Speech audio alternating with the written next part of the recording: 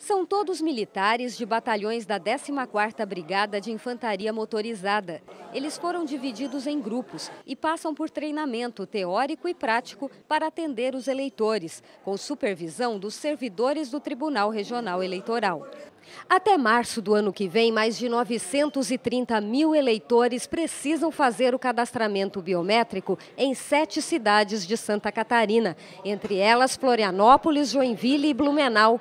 Só aqui na capital são aproximadamente 360 mil eleitores a serem cadastrados.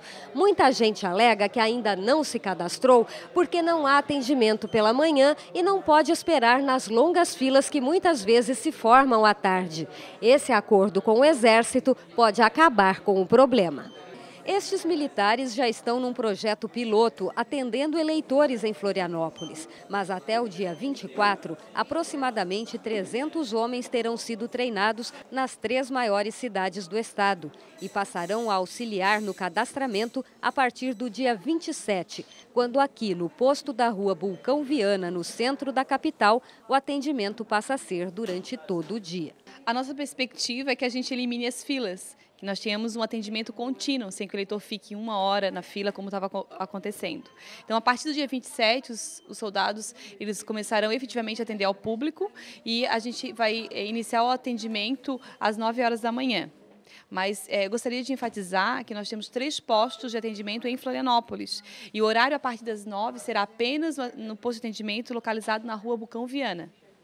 O eleitor deve estar atento. Em Santo Amaro da Imperatriz, o prazo para cadastramento biométrico termina já no dia 2 de agosto. Em Biguaçu, no dia 29 de novembro. Nos demais municípios, no dia 22 ou final de março de 2016. Para se cadastrar, é preciso apresentar um documento oficial de identificação com foto, um comprovante de residência emitido nos últimos três meses e, quem tiver, o título de eleitor, que ajuda na agilização do processo. Quem não se cadastrar pode sofrer uma série de sanções terá o título cancelado. Ele não vai poder votar nas eleições de 2016. É, só que as consequências não, é, a consequência não é apenas a não possibilidade de votar, porque o cancelamento do título ele reflete em outros direitos. Então, ele vai interferir diretamente no CPF, que poderá ser que poderá ficar irregular.